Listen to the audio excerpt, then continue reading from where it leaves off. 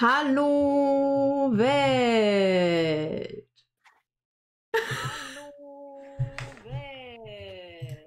Uh, jetzt haben wir Echo. Uh. Na? Hi, hallo Claudia, hallo Rudolf. Hallo, grüß Hi. euch. Hallo Zuschauende, hallo Chat. Huhu, eine Dose ins Internet reich. so, willkommen zusammen. Ich bin Claudia. Das da ist Lambert. Und das hier ist nicht Henning. Die, die, die langjährigen Zuschauer draußen an den Geräten werden es erkannt haben und ZuschauerInnen. Das hier ist Rudolf und er vertritt heute nicht Henning, sondern er ist heute unser Gast. Henning lässt sich entschuldigen, er ist leider krank. Freut mich unheimlich, ein, eingeladen worden zu sein und heute Abend dabei sein zu dürfen. Ähm, ich war jetzt gerade irritiert, weil du in diese Richtung gezeigt hast, aber bei mir auf dem Screen bin ich praktisch hier. hier. Ja, jetzt, je, jedes Mal aufs Neue machen. Es ist immer super witzig, weil es passt immer anders, du. Aber bei mir bist du, bist du da und Lambert ist da.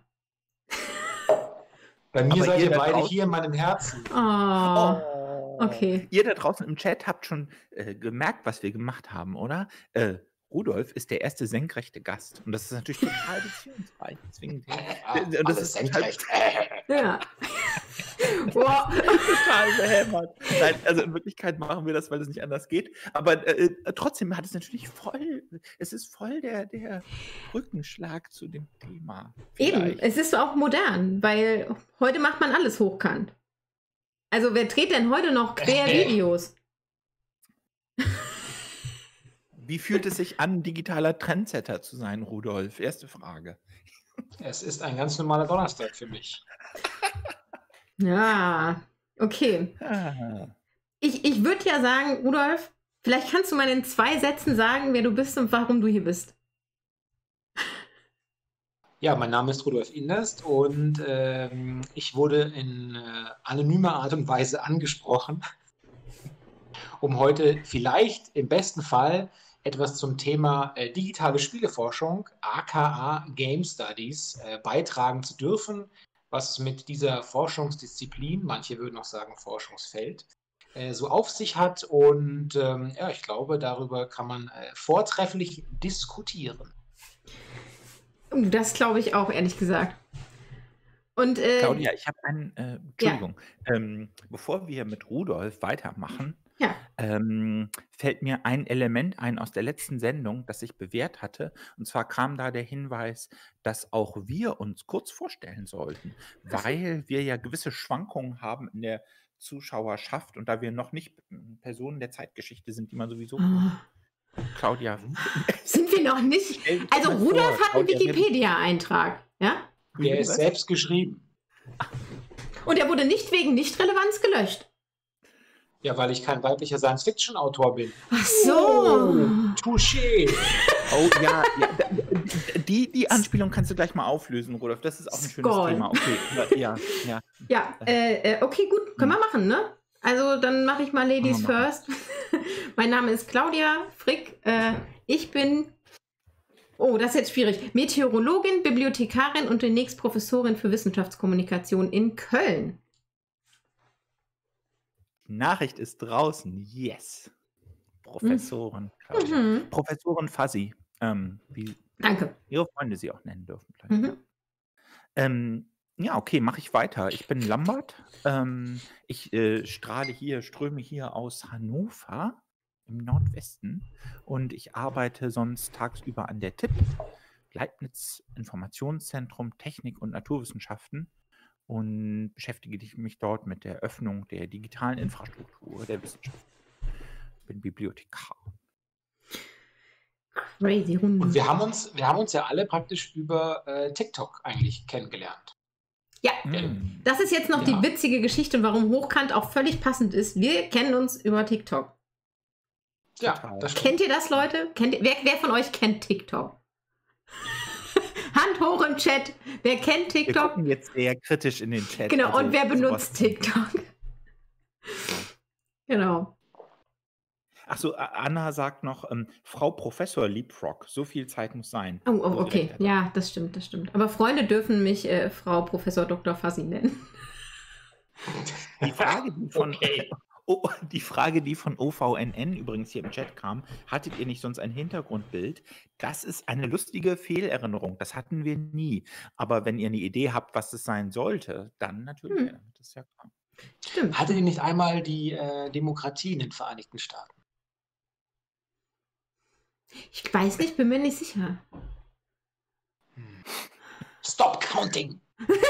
Stop it! Naja, gut, also ich sehe ein paar, äh, äh ein paar äh, äh kennen es, wissen aber nicht genau, was es ist. Äh, ähm, TikTok in, in TikTok in 60 Sekunden erklären. Oder Rudolf, in Option umstellen auf 15. Auf 15, okay. TikTok, äh, kurze Videos, knackig erklärt, mit lustigen Sounds unterlegt und total viel Humor. Äh, Propagandatool der chinesischen Regierung. Ah, okay, gut, ja, gut. So viel, so viel Zeit passt auch in 15 Sekunden. Gut, aber da haben wir uns kennengelernt, weil Rudolf dort nämlich über Game Studies spricht. Und wir dachten, dass es auch ganz cool wäre, wenn er uns hier mal ein bisschen was über Game Studies erklärt. Aber bevor du jetzt uns vielleicht mal einen Überblick gibst, was Game Studies eigentlich ist, weil ich habe ehrlich gesagt dank deiner TikToks eine minimale Grund Basis an Wissen darüber. Das ist aber sehr gering und ich glaube, wir brauchen alle da eine, eine Grundeinführung. Würde ich dich gerne noch eine total random Sache fragen. Ich, ich ziehe einfach eine aus unserem absurde Fragen an Gäste-Portfolio. Ähm, und die da lautet: Oh Gott, die ist gar nicht so absurd. Was ist dein Lieblingsspiel?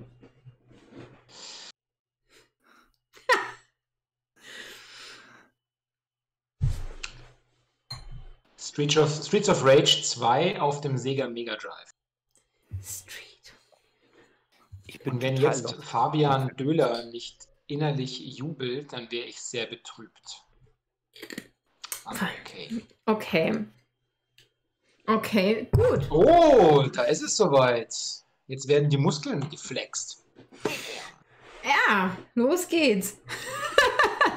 gut, dann würde ich sagen, ähm, wenn im Chat niemand noch Fragen hat, die abseits von allem sind, dann erklär uns doch einfach mal in ganz kurz, was Game Studies eigentlich sind und was genau du da machst. Also das ähm, Spielen oder das Spiel ist ja ein, eine Art von Kulturphänomen, das natürlich ähm, die, die Menschheit schon seit, seit ihrer Entstehung praktisch begleitet. Ich glaube, darüber gibt es gar nicht so viel gar nicht so viel Dissens. Solange es den Mensch gibt, solange wollte er zumindest äh, irgendwie, nennen wir es mal, zumindest herumspielen, wenn wir nicht von einer Form des organisierten Spielens äh, sprechen wollen. Ja. Das heißt, natürlich wurde auch schon lange, lange Zeit vor den Game Studies, also dem, dem akademischen Reflektieren und Nachdenken, wenn man so möchte, über digitale Spiele, also Videospiele, Computerspiele, Mobile Games und, und, und, und Browserspiele und wie sie alle heißen. Ja nennen wir sie mal der Einfachheit halber digitale Spiele. Natürlich wurde über Spielen und Spiele schon lange davor nachgedacht. Zum Beispiel gibt es eine riesige Tradition, die sich mit Brettspielen beschäftigt und äh, zu diesen forscht. Wenn ich also heute von Game Studies tatsächlich spreche oder wenn wir heute von Game Studies hier sprechen, jetzt in unserer kleinen flotten Runde hier, dann geht es tatsächlich darum, äh, digitale Spiele stehen im Vordergrund. Und das ist eine Forschungs, äh, nennen wir sie mal jetzt einfach Richtung, weil es gibt einen großen Zwist zwischen Leuten, die sagen Disziplin, manche sagen Feld. Eine große Frage auch der zunehmenden Institutionalisierung, USW, USW. Mhm. Dann geht es eben um digitale Spiele und da sagt man so, dass mh, hm, wenn man mal ausschließt, dass auch andere Forschungsdisziplinen wie vielleicht die äh, die Medienwissenschaften, die Literaturwissenschaften, die Filmwissenschaften irgendwann mal gesagt haben, oh, Spiele sind aber auch ganz interessant so als Medium. Wenn man mhm. die mal außen vor lässt und es wirklich sagt, so äh, sui generis Game Studies, dann beginnt das so Ende der neun, Mitte, Ende der 90er irgendwie so Fahrt aufzunehmen und dann erkennt man nochmal einen deutlichen Sprung Anfang der 2000er, wenn sich auch diese große Forschungsorganisation DIGRA gründet und langsam entstehen auch Studiengänge und äh, die so was? Mittelbau. Die was? Die was hat sich gegründet? Die DIGRA? Die, die DIGRA. Das ist eine Abkürzung für ein lokales Gartencenter. Immer wieder überraschend, diese Game Studies. Die sind doch verrückt, die Leute, die das machen. Verrückt. 2000 hat sich also diese Research Institution oder Research Association gegründet, die sich hm. eben speziell eben auf digitale Spiele fokussiert. Und ähm, ja, dann eben mit dem Ganzen, was dazu gehört, zunehmende Tagungen, Konferenzen, Publikationen und natürlich dann auch zunehmend natürlich die Frage, und das beschäftigt uns immer noch ganz stark, wie äh, solche Sachen wie Kanonbildung, gibt es ein einheitliches Curriculum, äh, ist es eher großartig, wenn alle Forschungsdisziplinen der Welt ihre Methodikkoffer zu uns in die Spieleforschung reintragen? Oder kann man sich mal auf eins vielleicht einigen? Haben wir einen speziellen, nur drauf zugeschnittenen Zugriff auf den Gegenstand und so weiter und so weiter? Ja, aber im Grunde, wenn man es abkürzen möchte, Game Studies, akademisches Nachdenken über digitale Spiele seit Anfang der 2000er zunehmend in Bewegung seiend. So vielleicht. Okay, also ja. Lambert, du zuerst. Äh, ja, ich hätte spontan eine Frage zu eurem Blickwinkel oder eurem Thema in den Game Studies. Und zwar hatte ich jetzt äh, bei diesem Kulturhackathon Coding Da Vinci, den wir letztens vor zwei Wochen in Hannover gemacht hatten, viel zu tun mit Leuten, die hier in Hannover unter anderem ähm, Game Design studiert haben. Ähm, gibt so es gibt sogar ein, zwei so Privathochschulen, die das als einen richtig starken Schwerpunkt haben. Dann teilweise Informatiker von der Uni hier, die das aber de facto äh, sich auf Games fokussieren. Und was ich mich jetzt gerade frage, ist, ob, äh, wenn jemand von denen hier wäre und du, ob ihr euch einfach gegenseitig nur so mit kalter Verachtung taxieren würdet und das soll eine Wissenschaft sein oder so. Oder ist es eher so, hey, High Five! Ich bin die Game Study, du bist der Game Designerin oder so? Oder äh, wie, wie ist das Verhältnis? Ähm, kann man dazu was sagen, was sinnvoll ist? Also, das ist eine verdammt gute Frage.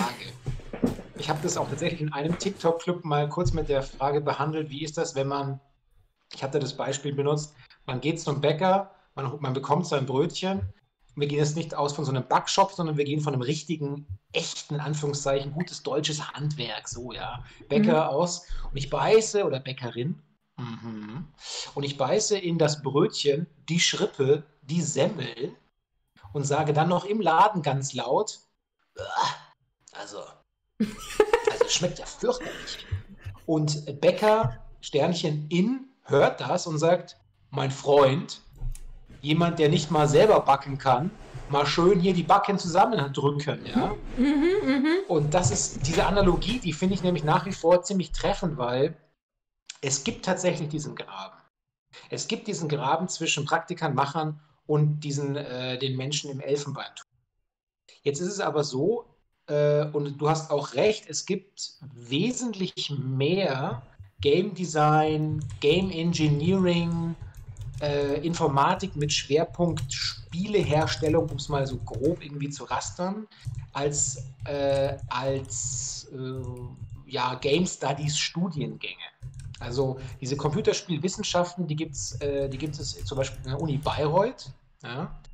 Aber selbst da ist es, im, ist es eine, auch mit einer großen Berührungsschnittmenge zwischen, äh, zwischen Handwerk und, äh, sagen wir mal, dem, der, der, was ich, der, der kecken Hermeneutik und Spiele, ja, oder irgendwie so, wenn man so möchte. Das ist aber saublöd. Das ist für keinen von beiden Seiten eigentlich ein Vorteil.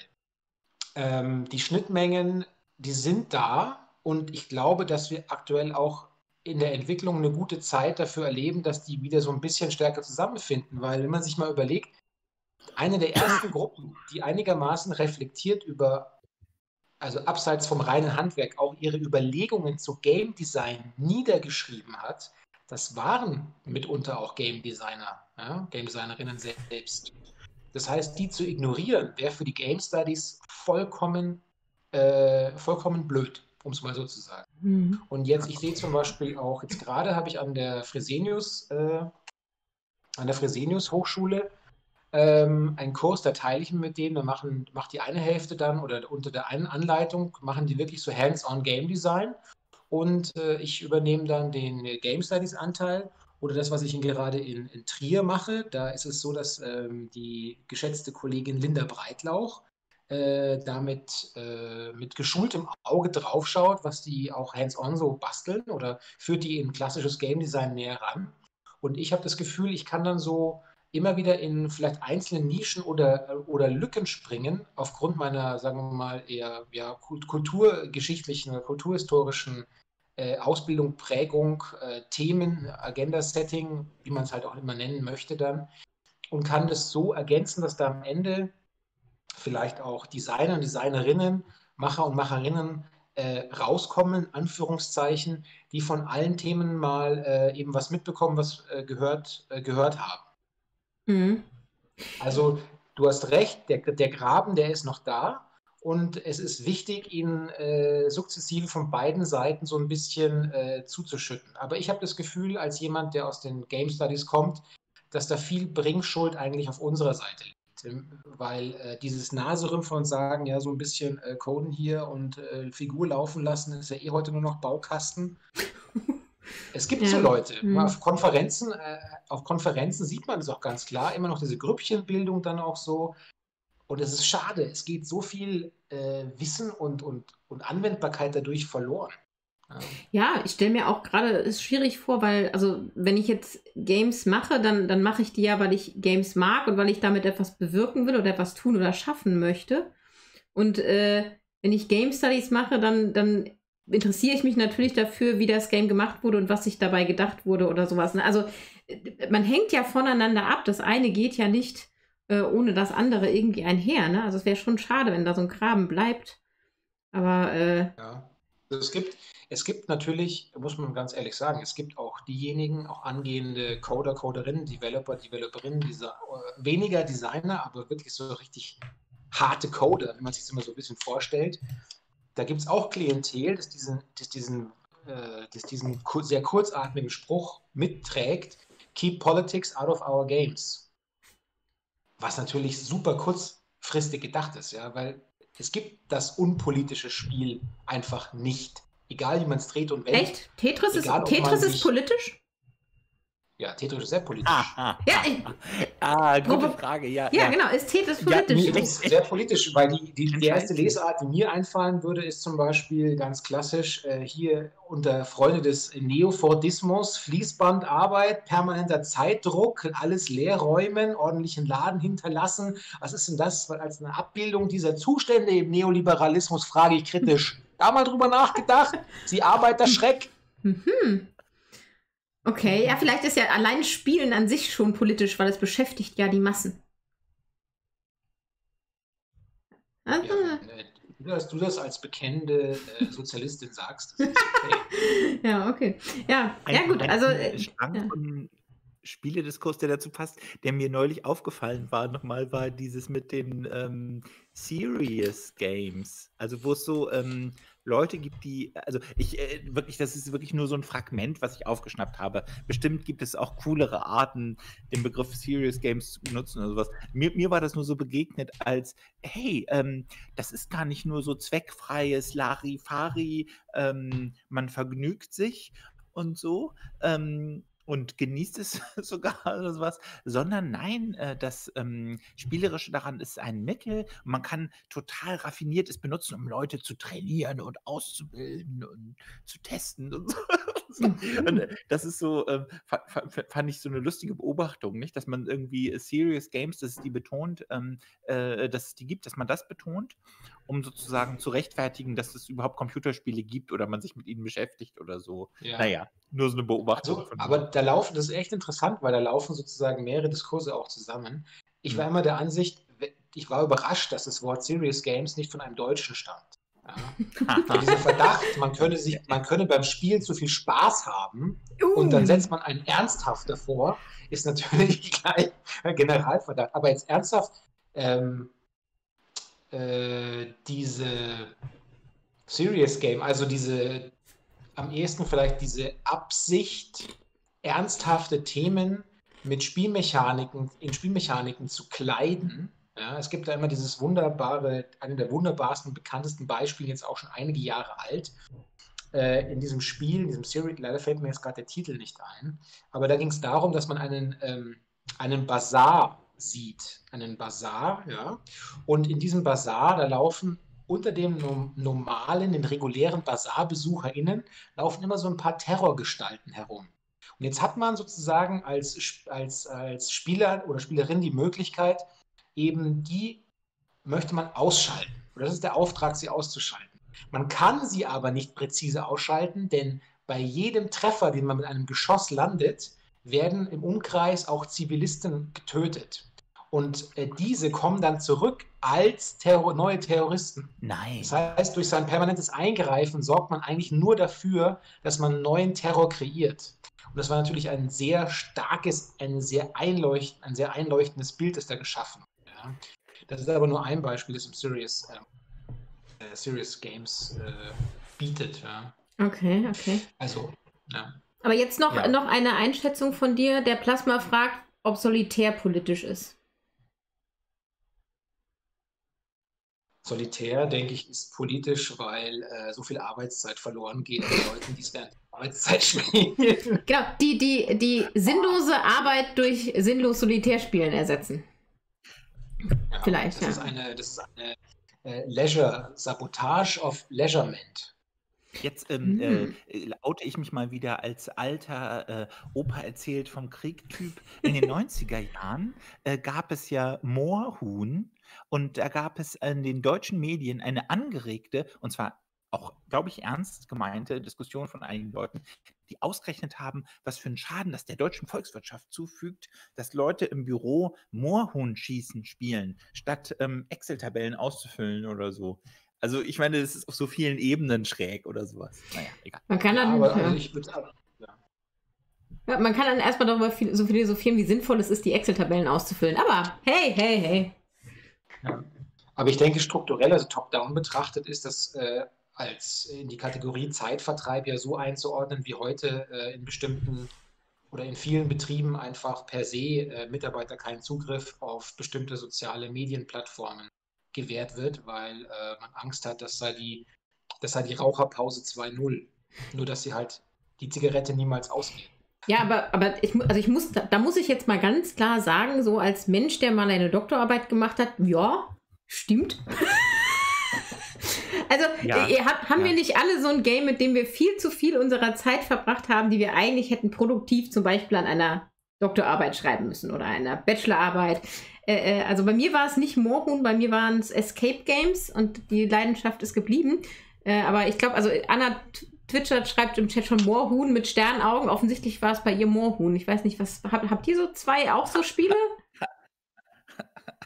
Ich weiß nicht, du hast jetzt auch gerade, glaube ich, ich weiß nicht, ob es Absicht war oder nicht. Das, du hast jetzt auch das Wort verbracht benutzt Ja. und zum Beispiel nicht verschwendet. Nein, es ist verbracht, es ist nicht Weil- verschwendet, ja. absolut nicht. Und damit finde ich, ist es automatisch auch vor sich, dann ist es vor sich selbst ja auch keine, es ist ja jetzt mehr als eine Rechtfertigungsstrategie vor sich selbst zu sagen, zu dem Zeitpunkt war es offensichtlich genau das, was ich gerade gerne gemacht habe. Äh, die Doktorarbeit offensichtlich fertig gemacht, Titel da, jetzt sogar noch ein neuer. Also man könnte sogar so weit gehen zu sagen, nur aufgrund des Spiels war es doch erst möglich, das alles zu erreichen. Hast du in deinen Danksagungen denn auch dem Spiel gedankt, Claudia, dass es dich und den Spieleherstellern und Entwicklern, dass sie dich so gekonnt abgelenkt haben? Verdammt, nein. Ich habe aber meinen Meerschweinchen gedankt. Nein, echt jetzt? Ja. aber okay. Gut, Okay. nein, nein, habe ich tatsächlich nicht. Okay, ja. Okay, Aber cool. da fällt mir was ein. Ich habe zum Beispiel jetzt in, der, in dem letzten, ich glaube, in dem, in dem letzten Sammelband, den ich heraus, heraus, mit herausgeben durfte, in der Danksagung habe ich dezidiert zum Beispiel ähm, Podcast-Formate genannt, weil mir einfach aufgefallen ist, ich bin ein sehr intensiver äh, Podcast-Hörer und ähm, viele von diesen Podcasts, die sind nicht, haben nicht nur einen großartigen Production Value, keine Ahnung, den sie stemmen können, sondern vermitteln mir auch einfach äh, so viel Interessantes an Informationen. Und ich benutze die alle, ich weiß nicht, ob ihr das auch kennt, das Phänomen, die benutze ich dann alle oftmals kostenlos. Und ich habe manchmal, selbst wenn ich am Jahresende so einen Komplettbetrag von, was weiß ich, 100, 150, 200 Euro mit der Gießkanne streue oder manche abonniere, äh, ich habe ein, zunehmend ein schlechtes Gewissen, weil ich mit denen, weil ich bekomme wirklich so viel an hochgradig oder qualitativ hochwertigen Content frei Haus. Und ich denke mir immer, das kann auf lange Sicht kann es nicht gut gehen. Das wird enden müssen. Oder der Kapitalismus ja. endet. Ja, genau. Wo wir wieder ja, bei politisch wären. Ja, lass uns das mal auf jeden Fall noch einmal äh, im Kopf behalten. Ich, ich, hätte, ich hätte noch mal eine Frage zu dem davor, aber dieses, dieses Ding mit den Plattform und der Ökonomie der Spiele, das ist sowieso ein Thema, wo ich auch das Gefühl habe, selbst so riesens Wissenslücken zu haben, was ich auch nochmal so ein faszinierendes eigene Welt nochmal finde oder so. Aber nochmal eine Frage, Claudia, was, was wir zu, zu unseren virtuellen Fragen an Gästekatalog fast aufnehmen könnten, mhm. wäre jetzt folgendes. Ähm, ja. generische Gästefrage. Wie zitiert man Computerspiele? Weißt du, ob es da hm. Zitierstile gibt oder so, wie man es macht? Weil ah. für euch Game Studies Leute müsste es ja eine virulente Frage sein, oder? Absolut. Ein Goldnugget an Frage, würde ich sogar sagen. Lambert ist äh, bekannt für seine Goldnuggets von der, Fragen. Nach der Zitationsweise von Spielen ist praktisch eine, die uns äh, wirklich massiv umtreibt. Und die hat in erster Linie damit zu tun, dass äh, Spiele zunehmend, also nicht erst seit gestern, vor allem im PC-Bereich fing es an, aber jetzt ist es für Konsolen ja auch so, dass Spiele regelmäßig Updates erfahren, nachgepatcht werden, neue Versionen rauskommen. Das heißt, wir suchen nach einer Art und Weise darzulegen, mit welcher Version wir uns zum Forschungszeitpunkt mit ihnen beschäftigt haben. Und es stellt uns oftmals vor äh, große Herausforderungen, wenn wir nicht äh, unbedingt alles komplett auch, äh, sagen wir mal, audiovisuell dokumentieren wollen, die jeweiligen äh, Spielstellen sozusagen.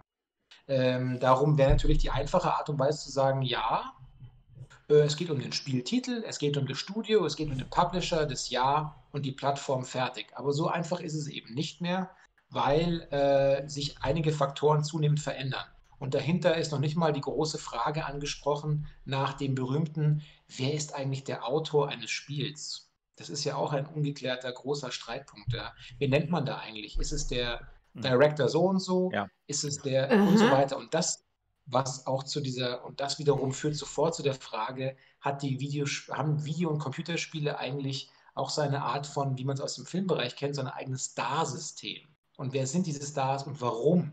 Mhm. mhm. Ja, ich, ich glaube, es gibt viele, viele, äh, Claudia, wie würdest du es sehen? Ich, wir haben ja in der generellen Diskussion über dieses Credit geben für mhm. äh, wissenschaftliches Arbeiten, für kreatives Arbeiten genauso bestimmte rote Fäden, die sich durchziehen. Also wir haben immer diese Thematik jetzt, dass es zunehmend komplexere digitale Gebilde sind. Wie sorgt man eigentlich dafür, dass Credit where Credit is due, aber dass sozusagen bei dem Einzelnen, der vielleicht nur die vielleicht nur ein bestimmtes Codefragment gebaut hat, dort auch der Credit landet, ja, und dann auch äh, das ähm, gesehen wird, sozusagen, dass letzten Endes dieses Codestück nicht, nicht umsonst war oder so. Das haben wir generell bei digitaler Wissenschaft. Mhm. Ähm, denke ich auch. Und ähm, äh, auch die Komplexität, die du angesprochen hast, also dieses Verhältnis von Work Manifestation, äh, Expression Manifestation, ja, dass man sozusagen äh, äh, immer es immer schwieriger hat, vielleicht auch irgendwie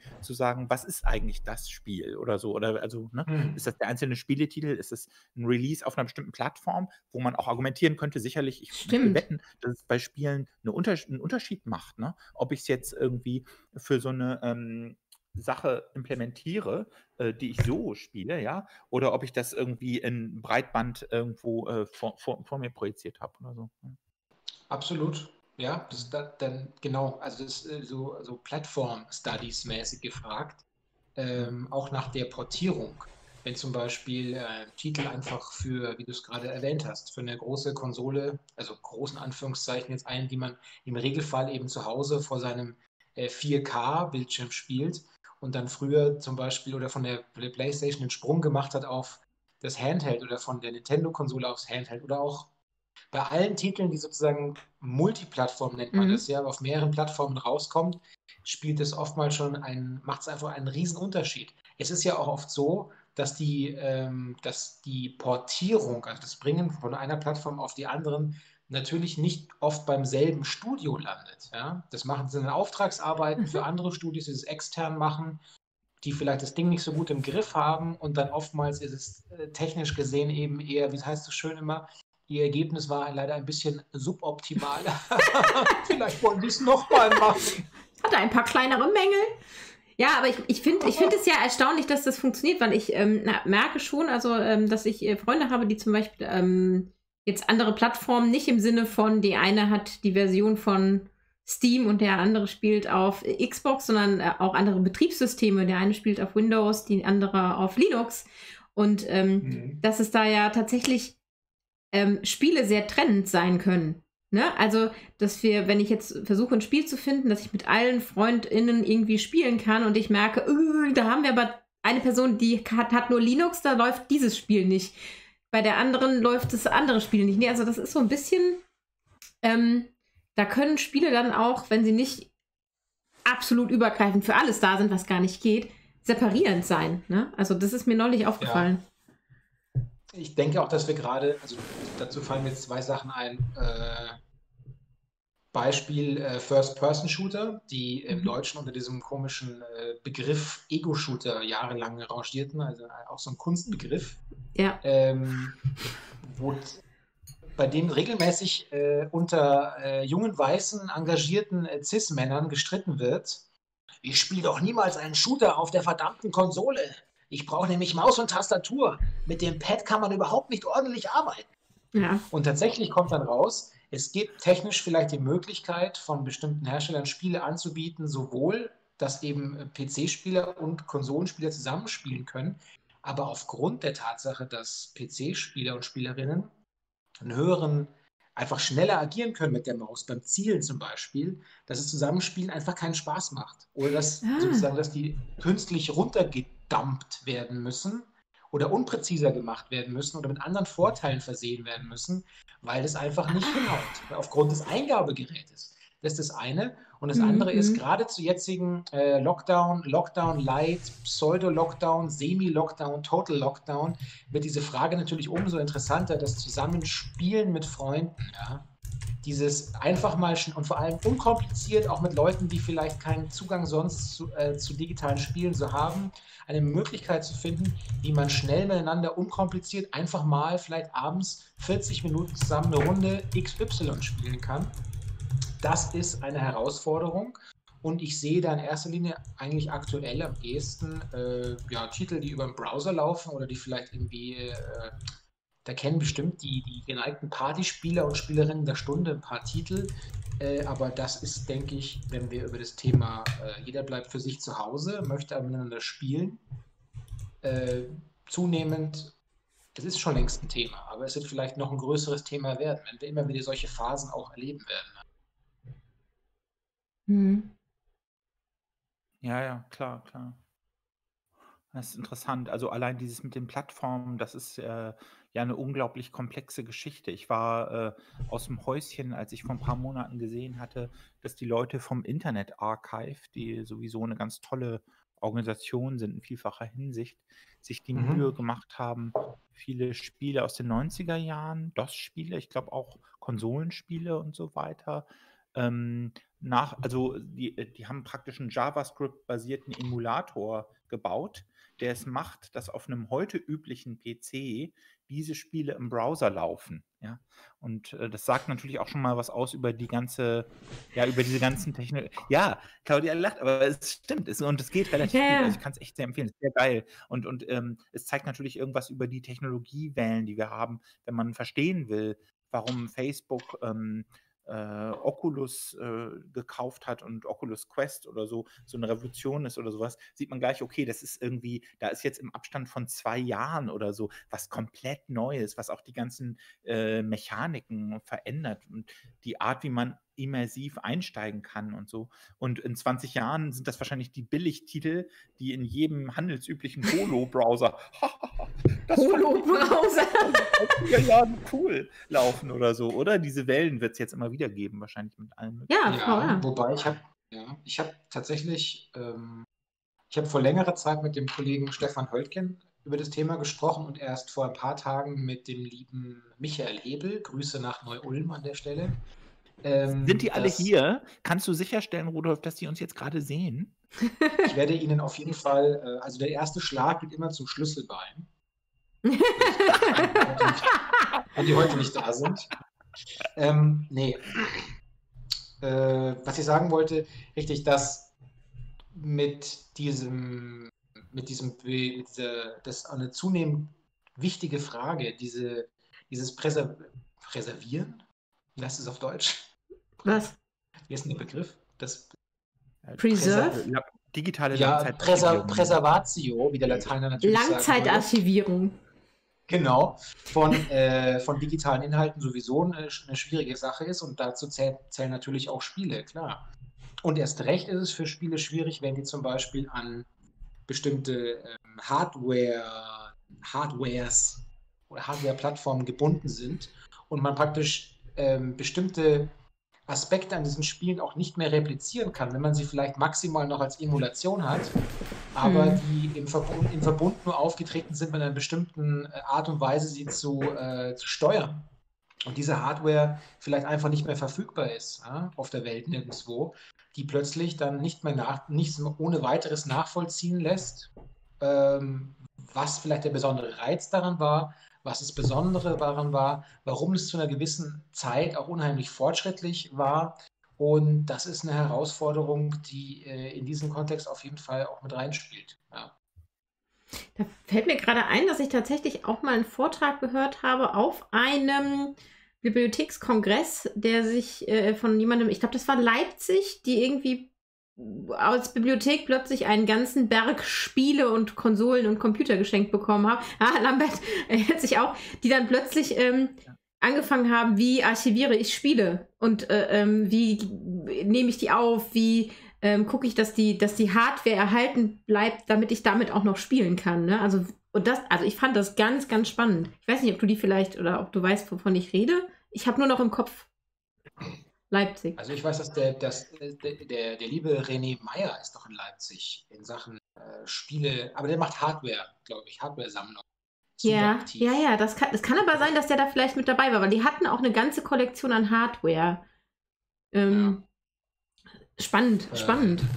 Weil ich meine, es ist was anderes, wenn ich hier auf meinem Handy, das habe ich mal gemacht, mir einen Emulator draufpacke und ich habe Gameboy gezockt, so Super Wario Land, das habe ich früher gesuchtet und Du, hast natürlich die Originalmodule auch zu Hause. Das ist natürlich immer klar. Äh, Also ich hätte hier einen C64, da läuft er auch und da kann man spielen, aber kein Gameboy mehr, der ist kaputt Wichtig gegangen. ist, dass die Spiele, die du auf Emulationsbasis gespielt hast, auch zu Hause hast in deinem Besitz. Ja, natürlich. Also mein Okay. da. Ähm, Anzeige, Anzeige ist raus. Wie du schon weißt. verklag mich. Ja, ähm. Ah, guck mal hier, Leipzig und japanische Spiele waren das, glaube ich. Ich habe den Vortrag auch gehört. Ja, ja. ah, ja, siehst du, unsere, unsere Ja. ZuschauerInnen wissen, was geht. Sehr geil, sehr geil. Ja. Ja. Übrigens, jetzt kann ich Wissen, noch mal was Spiel machen, behaupten, dass alles von langer Hand geplant und vorbereitet hier ist, was natürlich total äh, kontrafaktisch ist. ähm, heute ist nämlich der World Digital Preservation Day. Deswegen reden wir hier überhaupt. Nein, aber heute ist tatsächlich der World. Entschuldigung. Und Jetzt- jetzt ah, das war Absicht. Ja, nee, klar, das war total Absicht, ja. Und, und ähm, ich kann jetzt auch so, einen- so einen Move machen, ähm, so ähnlich wie Rudolf, nämlich äh, Grüße gehen raus an meine Kollegin Mickey Lindlar von der TIP, die heute von dieser internationalen Vereinigung, die jenen Tag anzettelt, ähm, einen Preis, also eine Auszeichnung, ein Fellowship für ihre Errungenschaften im Bereich Digital Preservation bekommen hat. Ist echt so. Könnt, guckt nach. Mickey Lindlar findet ihr auf Twitter äh, von der Tipp und die hat, äh, also sie ist ein absoluter, absolute digitale Langzeitarchivierungsspezialistin und äh, twittert Interessantes hierzu. Ja, hm, guckt es euch an. Ich finde, das sollte uns eine Runde Applaus werden. Yay. So, jetzt würde ich gerne noch eine Frage stellen. Weil ähm, ich, ich wüsste gerne, wie ein konkretes Paper aussieht oder ein konkreter Artikel oder Beitrag, den du sch- geschrieben hast. Also, worüber schreibst du? Und bevor du mir sagst, worüber du schreibst, möchte ich noch fragen, mit was du schreibst. Word oder LaTeX? Markdown Oder, oder schreibst du gleich im Texteditor HTML? Ist keine Schande. Wäre Ja. okay. Ich verstehe es gar nicht, was ihr alle von mir wollt. Ich gebe die immer als MP3 ab. ja, ihr lacht, aber ich habe. Dann tippt dir jemand ab? Oder nein, direkt Nee, die MP3 sind so. veröffentlichen. Ich habe äh, ich hab äh, erst letzte Woche und die Wochen davor mit einer ganz lieben äh, Kollegin der LMU über das Thema gesprochen, wann Abschlussarbeiten endlich als, ähm, als audiovisuelle äh, Inhalte abgegeben werden. Wann wir uns entfernen von den, äh, von den dicken Wälzern. Mhm. Was natürlich auch mit Digi was auch dann mit Prä Präservatio Delectat ja, äh, zu tun haben wird, natürlich. Ähm, aber das ist vielleicht noch wir äh, Musiker della Futura. Äh, also ich schreibe aktuell, äh, weil seit Jahren natürlich gelernt sozusagen, äh, schreibe ich ganz brav auf äh, Word. Ähm, Okay. ich hatte auch noch, ich hatte auch noch nie, muss ich sagen, diese ganzen klassischen Fuck-ups, die Leute immer behaupten zu haben, mit äh, die Bilder, die schiebt's auf Seite B und ich kann auch äh, die, Seitenzahlen unten kommen immer oben rechts raus. Äh, also das, ich weiß nicht, geht eigentlich ganz gut, sag ich mal. Ja. Ja, wie sieht es aus? Äh, das letzte Paper, das ich schrieb, Mhm. war vermutlich vermutlich eins zu Wolfenstein. Die Spielserie Wolfenstein. Okay, was hast du da? Er, erzähl mir mehr, was hast du dazu geschrieben? Und war Wolfenstein nicht dieses Spiel, wo es noch, mir wäre es, als wäre es gestern gewesen, vor ein paar Jahren so eine Moralpanik drum gab, weil es einen schlimmen Einfluss auf die Jugend hat? Oder bringe ich das durcheinander gerade? Nee, ähm, ich denke nicht. Also das Wo- Wolf, Wolfenstein ist ein gutes Thema, weil wir gerade bei einem, äh, wir arbeiten gerade an einem Band dazu, einem Sammelband dazu. Auch weil das erste, der erste Wolfenstein-Titel 81 rauskam und da ist natürlich 2021 unser Ziel, damit rauszuballern. Wir werden dann der erste deutschsprachige Sammelband zu dem Thema. Mhm. Und ähm, da habe ich tolle Mitstreiter gefunden. Äh, eine Dame und ein Herrn, Name der Redaktion bekannt. Nämlich unsere eigenen. Okay. Und ähm, ähm, da ging, genau, vielleicht deswegen bekannt, weil ich glaube, mustergültig an Wolfenstein seit Jahren dieses Thema, äh, die Darstellung von verfassungsfeindlichen Symbolen verhandelt wird. Stimmt. Äh, Ja. Hakenkreuz, Hakenkreuzdebatte, ja. Ja, ja, ja. Also unter anderem, da gäbe es viel zu verhandeln, aber dafür, denke ich, ist es sozusagen im, im Volksdiskurs am bekanntesten. Okay. Ja, ja, ja. Mhm. Und äh, die Frage, die ich da wieder mal nachgehe, weil ich gerne mit, äh, mit Utopien und Dystopien arbeite, war die Frage, inwiefern, äh, inwiefern Wolfenstein oder eine, ein Wolf, das Wolfenstein, das ich mir angeschaut habe, war, glaube ich, das von 2013 oder 2014, inwiefern es eine Fortsetzung von dystopischen Erzähltraditionen ist. Nur eben mit der Frage angehängt, wie manifestiert sich das nicht nur in den erzählerischen Anteilen, Anteilen im Spiel, sondern äh, wie, wird, wie kann sowas übersetzt werden auch in Spielmechaniken? Weil das ist ja für die Spieleforschung grundsätzlich sehr interessant und da war auch lange oder ist immer noch ein Streitpunkt, auf was man sich in dieser Untersuchung von, von Spielinhalten eher so fokussiert. Schaue ich mir eher die Regelsysteme an, schaue ich mir die Mechaniken an oder schaue ich mir das Worldbuilding an? Es gäbe so viel abzufragen, ja. Aber das sind vielleicht so die beiden großen Stränge, die auch zu diesem, äh, manchmal habe ich das Gefühl, selbst kreierten Gründungsmythos, dem großen Schisma, dem Streit zwischen den sogenannten, man muss immer so genannt dazu sagen, NarratologInnen und LudologInnen führte. Je nachdem, wie man heute befragt, gab es diesen Streit nie oder es gibt ihn immer noch oder die beiden äh, fechten regelmäßig ähm, Duelle aus. Man kennt sie von Hamilton vielleicht ja, jetzt mittlerweile dem Musical und die treffen sich nachts und schießen aufeinander. Ich weiß es nicht. Auf jeden Fall diese grundsätzlichen Richtungen, auf was man da beim Forschungsgegenstand Spiel in erster Linie draufschaut, sind nach wie vor ein heißes Diskussionseisen und ich glaube, das kennen ganz viele Forschungsrichtungen.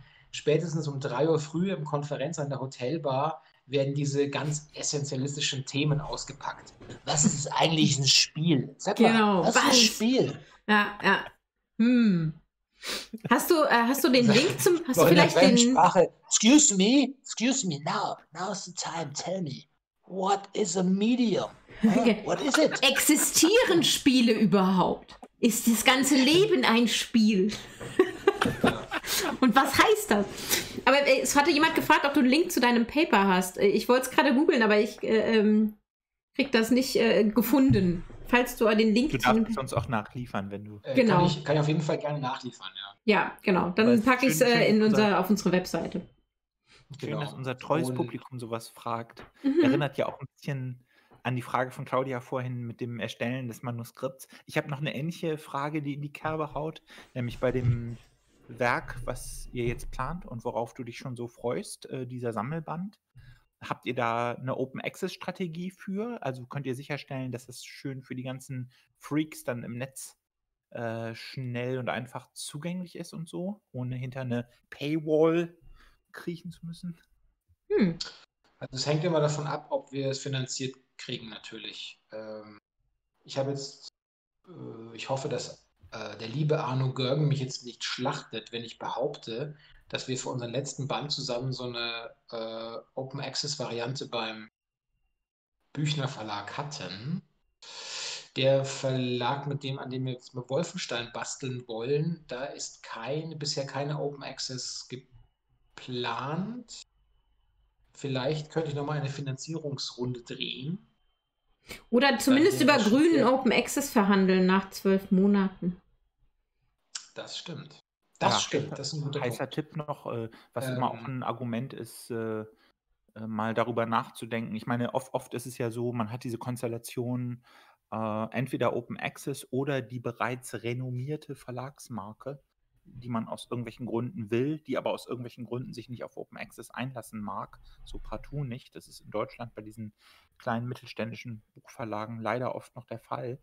Mm, Dann kann man sich auch immer fragen, äh, lohnt es sich vielleicht aus anderen Gründen sowieso über einen anderen Verleger nachzudenken? Weil gerade bei diesen digitallastigen Themen zeigt es sich oft, dass die neuen Spieler zwar noch nicht so bekannt sind, aber einem oft bestimmte Extras bauen können, die für so ein Buch im Bereich Game Studies total hilfreich sind. Also wo man zum Beispiel vielleicht ein multimediales Element besser in die digitale Version des Buches integrieren kann oder so. Nur so als Anregung. Und dann äh, gehört einfach Open Access zum Paket dazu.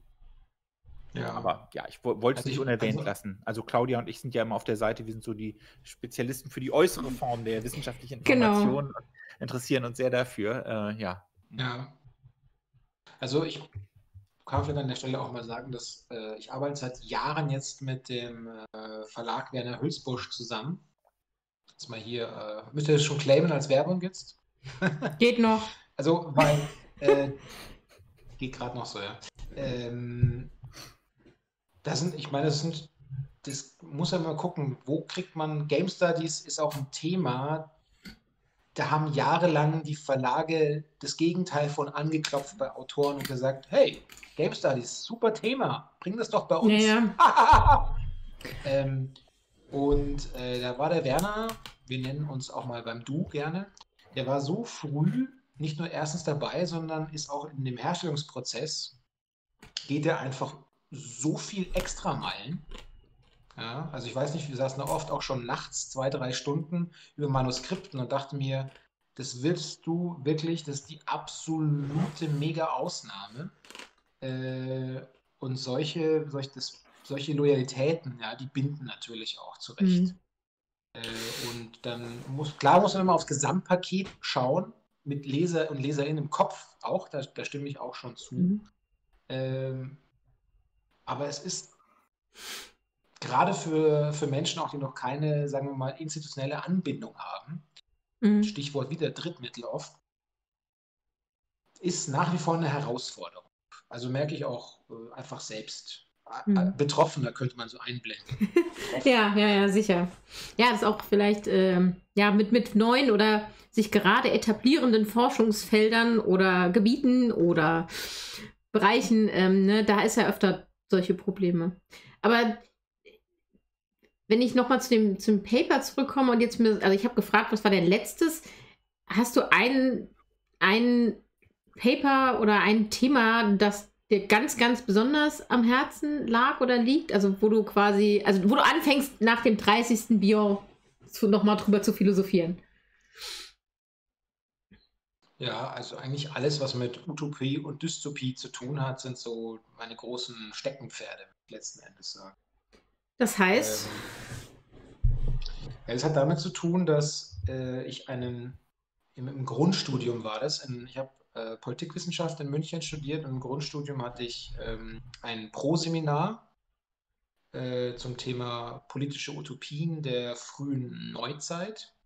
Und dieses Seminar von äh, Professor Dr. Henning Ottmann war derart exzellent und augenöffnend und das in einem natürlich vollkommen überfüllten Proseminar-Raum. Äh, Klar, 15 Leute sollen hören, äh, 52 quetschen sich rein. Und trotzdem, das war für mich so wirklich revealing, so eine fast schon religiöse Erfahrung, äh, mit diesen Utopien so in Kontakt zu treten. Und es hat mich auch nicht auslassen. Und ich habe dann eigentlich mein, seitdem geht meine gesamte, mein gesamtes Forschungsinteresse bewegt sich so in diesem, in diesem, in diesem Januskopf-System von Utopie und Dystopie. Ja. Und wieso sind jetzt Utopien viel schwieriger? Genau.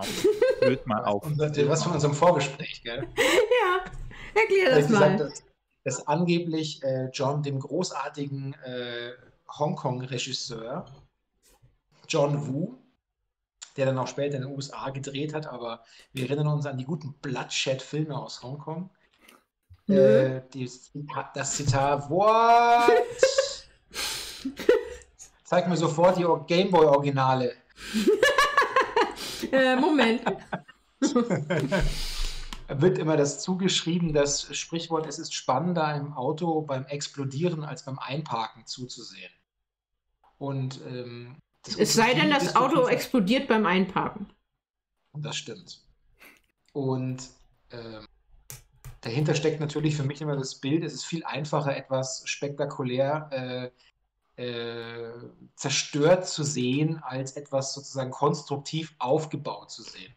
Und es ist einfach aufgrund der, der Ereignisse oder der, der geschichtlichen Zäsuren des 20. Jahrhunderts fast unmöglich oder vielleicht sogar schon mehr als unmöglich, noch das Wort Utopie so in den Mund zu nehmen, so naiv, gutgläubig in den Mund zu nehmen, um wirklich zu sagen, wie schaut denn dieser Gemeinschaft oder dieser Gesellschaftsentwurf auf, der wirklich zu dem besten möglich denkbaren Gemeinwesen führt? Sofort haben wir natürlich die Bilder im Kopf von äh, Pol Pot, Stalinismus, äh, Holocaust, alles, was schief lief an vermeintlichen Utopien und Menschenbildern und Gemeinbildern, kriegen wir nicht mehr aus unseren Köpfen raus, wenn wir diesen Utopiediskurs erstmal anstoßen. Es ist eben immer viel einfacher zu sagen, äh, wie geht es in die andere Richtung. Ja?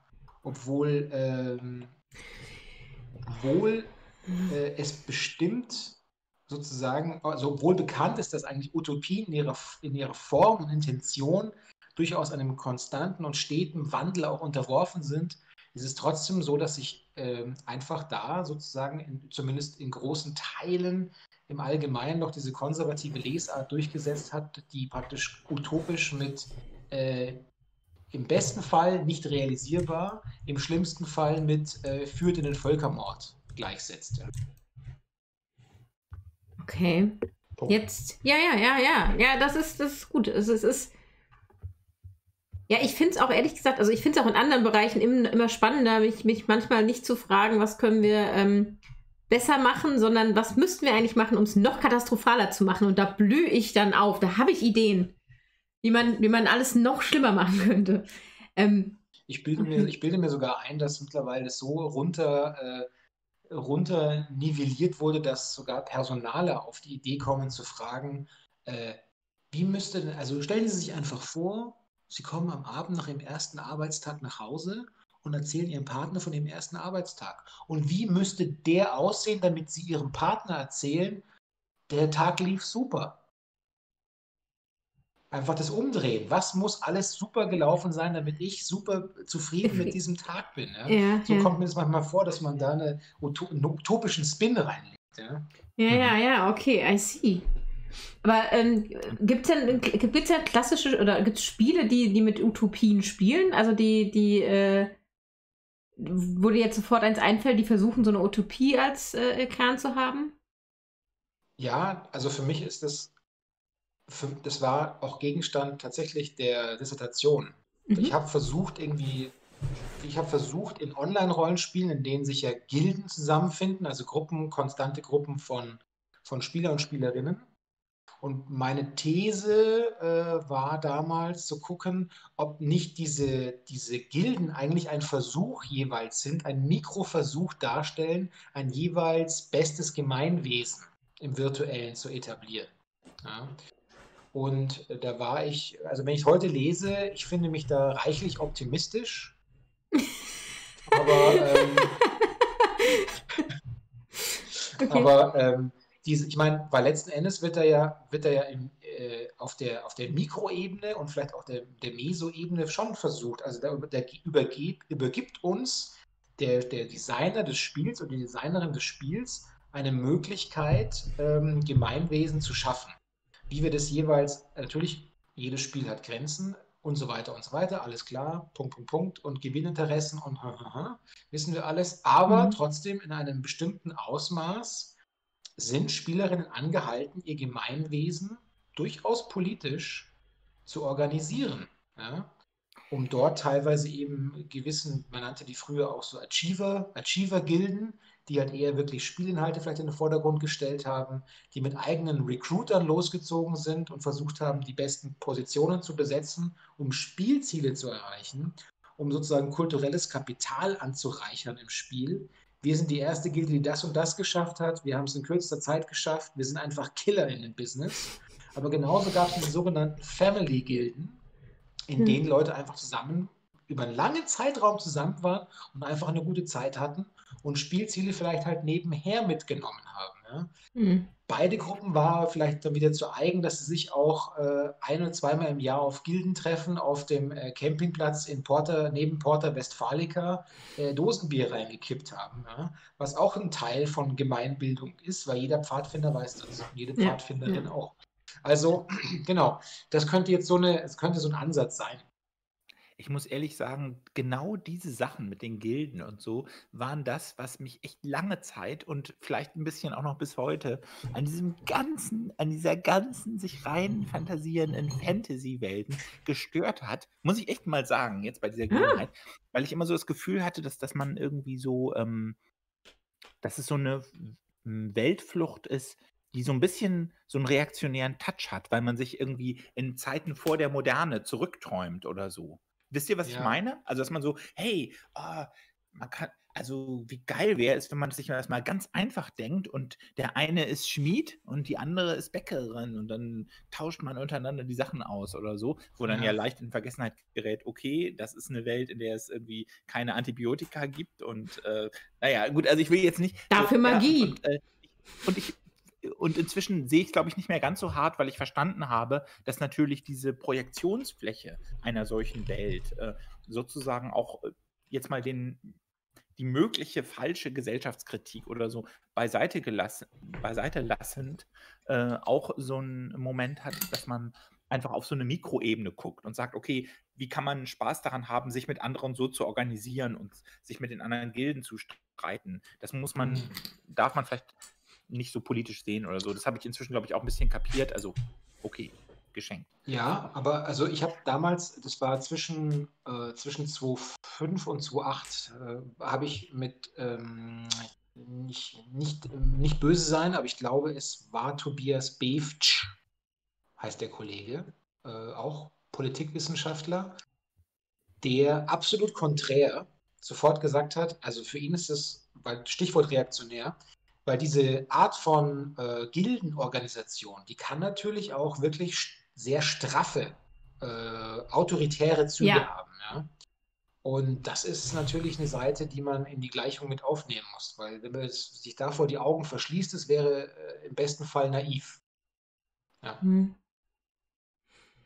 Dann könnte man sagen, äh, man ist froh, wenn man mal nach einem Arbeitstag endlich mal auch noch zu Hause in der Gilde als Depp für alles gedemütigt werden darf. War ja nicht schon in der Arbeit so davor. Vielleicht ist man ja in der am einen Leben der CEO der Firma und in der anderen der Hufschmied der Gilde.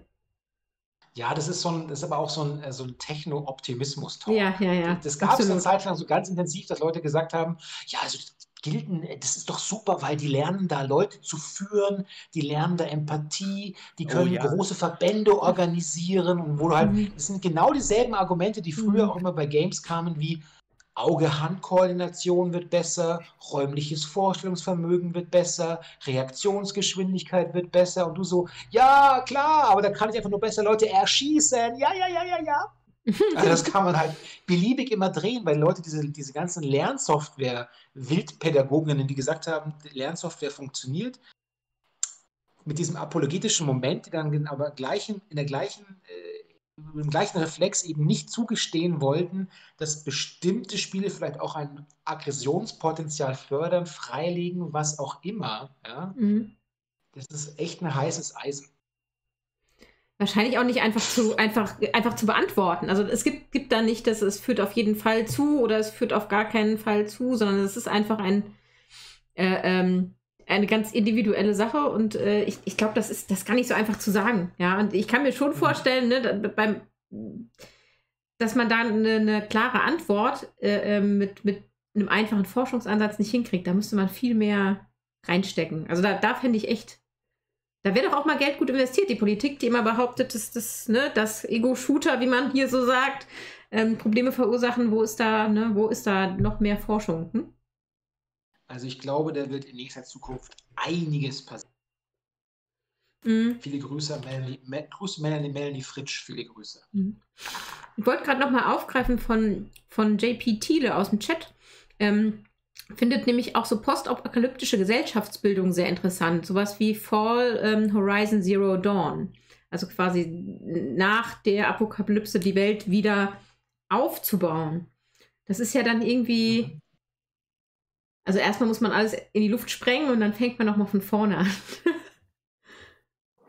Ja, und macht vielleicht, ohne es zu wissen, äh, dieselben Fehler von vorne. Ja, ja, absolut. Das ist so ein bisschen das, woran ich immer denke bei, ähm, äh, bei Star Trek oder solchen, solchen äh, Filmen. Also bei Filmen denke ich da schon immer sehr dran, dass man so, das so eine ganz utopische Science-Fiction-Welt geschaffen hat, aber am Ende geht es immer um dieselben menschlichen Urprobleme.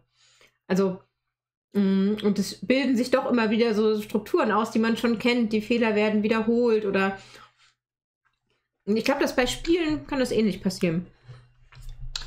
Ja, wie heißt es immer so schön? Science Fiction ist das Fenster, nicht die Aussicht. Ja, ja, genau. Oh. So. So, das ist, das Ja, ist ein ja, super ja, ja, Zitat. Interessant. Interessanter Ausspruch, ja. Ich, ich äh, erinnere mich gerade an eine Twitter-Unterhaltung und ich glaube, Claudia, da warst du mit drin. Ähm, da schwärmte jemand von dem, von der realistischen Sache des neuen Microsoft Flugsimulators. Mhm. Und dann wurde darunter kommentiert, ähm, äh, ja, geil, ich würde gern mitfliegen, aber als Passagier, sodass ich nur die Bordunterhaltung habe und aus dem Fenster gucke, aber nicht die Komplexität des ähm, Mhm. Fliegens oder so. Das fand ich eine lustige Idee. Also auch nochmal zum Thema Perspektive. Aber, so. aber Lambert, das Ja. Spiel gibt es. ja, es nein, gibt- ja, ja das, das war überhaupt der Witz. Das ist noch nicht mal erfunden. Genau, da, es gibt dieses Spiel. ist das? Ja, und es hat super interessant witzige Rezensionen auf Steam, wenn ich das mal kurz anmerken darf, wo Ja. sich Leute darüber Ja. beschweren, dass man ja nichts tun kann. Weil man ja, nur ja, da sitzt. Ja, ah, wie toll, okay. Was ist der Punkt daran? So, und jetzt, Rudolf, jetzt du nochmal Steam, Nutzerrezensionen versus Game Studies. Wer schafft mehr? Nein, Nein aber das ist dann so eine, so eine Art ähm, Laienphilologie der Games, oder? Diese Games-Rezensionen, liest du sowas überhaupt? Ist das eine Ebene, die es für dich gibt, oder? Also ich, äh, ich bin ja äh, neben der forschenden Tätigkeit bin ich ja auch vier Tage die Woche bei Koch Media. Äh, das sagt jetzt vielleicht nicht jedem was, aber auch dem Spielelabel zum Beispiel Deep Silver. Ähm, und da spielen natürlich, also ich bin da im Bereich Community und Social Media hauptsächlich aktiv. Und da ist natürlich das Thema Steam Reviews ein Riesenthema. Ja. Mhm.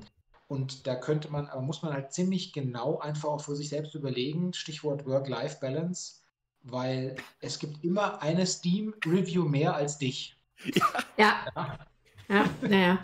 Also, äh, das, es, es, es ist sehr wichtig, äh, zweifelsohne, nur wenn man da nicht lernt zu priorisieren, wo wir draufspringen müssen mit unseren Ressourcen und wo nicht, Mhm. Dann ist man, dann geht man unter. Dazu ist man dann verdammt. Ja. Das ist vergleichbar ebenso wie früher, vielleicht auch vor ein paar Jahren, Amazon Reviews. Mhm. Ja, Naja, aber ist es nicht auch, ein- also ich weiß es nicht, gibt es da schon Forschung, die sich mit Reviews von Spielen beschäftigt? Also ähm, wer, wer die schreibt, äh, ähm, wie die sich so verteilen, ähm, äh, gibt es da schon? Ja, also ich möchte an dieser Stelle einen Aufruf starten. Äh, die Politisierung der Berichterstattung über Spiele wäre mein Lieblingsthema für eine Drittmittelstelle oder ähnlich. Also Mhm. bitte äh, schreiben Sie mir. Eduard Zimmermann ruft in die Schweiz und Österreich. Äh, absolut großartiges Thema, weil wer letzten Endes kuratiert sozusagen, wer ist das Bottleneck?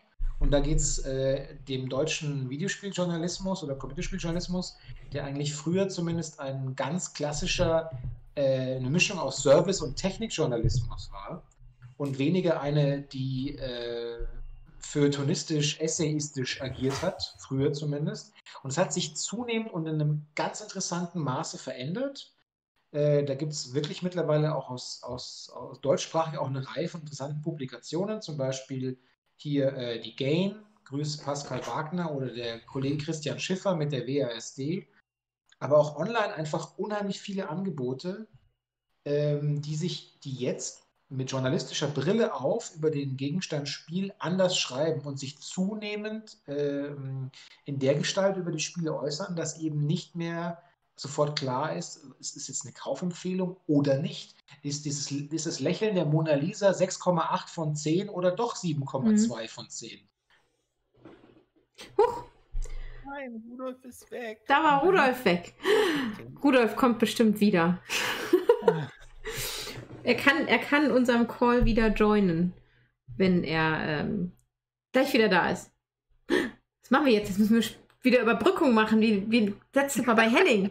Wie, wie, wie waren denn die ganzen Mechanismen dafür? Ich weiß es nicht mehr. Aber ich wollte auf jeden Fall noch mal in den Chat fragen, wenn ihr nämlich noch Fragen habt an Rudolf, ihr könnt die jetzt noch mal raushauen, denn wir sammeln die nämlich noch mal. Also sonst fragen wir hier einfach das, was uns interessiert, wie immer, ne? Und ihr wisst, was das heißt. Wir fragen, was uns interessiert. Wir philosophieren dann. Wir philosophieren, genau. Nein, ich, äh, ein, eine Sache war im Chat und die, da, Mhm. die haben wir gar nicht aufgegriffen. Ist schon ein Weilchen her. Nämlich, was dieses äh, Credit bekommen ähm, denn bedeutet oder was für eine Mhm. Bedeutung hat. Ach, stimmt, ich ja. weiß, ja, ich weiß nicht, worauf es jetzt ging oder was der Bezug war. Eine Sache, die mir aufgefallen war, ähm, hier bei der Games Developer Szene in Hannover, bei deren Diskussionen, da haben Leute, das war eine Grafikdesignerin, die irgendwie mit einer Spezialisierung schon auf Spieleszenarien oder so, Grafikdesign macht und die hatte dann so eine Portfolio-Seite oder so. Also ich glaube, das ist sowas wie Reputationsbildung oder sowas oder die eigene Arbeit dann gebündelt ins Schaufenster stellen. So, aber ich, das ist generell vielleicht bei Grafikdesign auch so. Das ist gar nicht so spielespezifisch. Das scheint Mhm. eine Rolle zu spielen. Ansonsten stelle ich es mir hart vor. Es ist halt schwierig, nicht? Ich meine, A ist die Frage, ne? Äh, merken die Leute wirklich, dass du beteiligt warst? Ähm, an einem Spiel, also einen irre langen Abspann, wo dann alle nochmal aufgeführt werden, wie bei einem Spielfilm. Gibt es ja Doch. wohl bei Spielen. Doch, doch, doch. Ja, manchmal schon. ne? Also, also manchmal gibt es schon und ähm, ich kenne auch viele Streamer, die tatsächlich zum Schluss, wenn sie fertig sind, ähm, die Credits durchlaufen lassen. Also jetzt nicht, Ja. dass man da die Namen vorliest, aber die das durchlaufen lassen und quasi beim Abspann nochmal das Spiel reflektieren. Ne? Mhm. Also wie habe ich das Spiel jetzt gefunden und, und so weiter. Und dann läuft das schon nochmal durch, ist tatsächlich wie beim Film, aber manchmal halt auch nur aufrufbar übers Menü oder manchmal ja versteckt irgendwie. Ne? Also nicht so ein Abspann mit Musik vielleicht.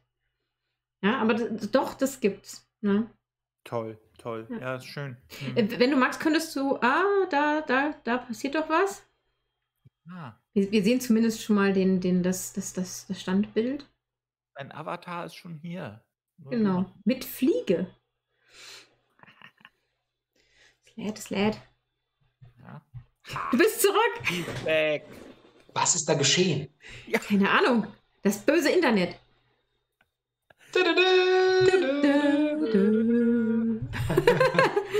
Ja, Ja, ich glaube, dass die, äh, dass die Mainstream-Journalismus-Sekte äh, nicht zulassen wollte, dass ich weiter ausführe, was Sache ist. Ja, ja, ich glaube auch, die Leute von Steam haben gedacht, wehe, du machst unsere Rezensionen runter. Stimmt. Mach uns den Friedrich Merz, ja. Es, es, es sind nicht alle in der Mainstream-Computerpresse, die dich verhindern wollen, Rudolf. Aber es sind große Teile, die alles daran setzen, dich zu ja. verhindern. Ja, das ja, es ist ja auch, muss man auch ehrlich sagen, dass sich, äh, es gibt ja nicht mehr viele, diese klassischen Flaggschiffe der deutschen Spieleberichterstattung, äh, wie zum Beispiel äh, die GameStar, dass die sich, das war sehr interessant, weil die haben sich natürlich, und das ist sehr angenehm, finde ich, die haben sich thematisch unheimlich geöffnet in den letzten Jahren. Das ist definitiv, äh, muss man feststellen, und es ist eine gute Entwicklung. Und äh, da herrscht mittlerweile auch eine andere Form von Berichterstattung, eine, eine Vielstimmigkeit, die, finde ich, die, diesen Publikationen auch wirklich äh, gut tut.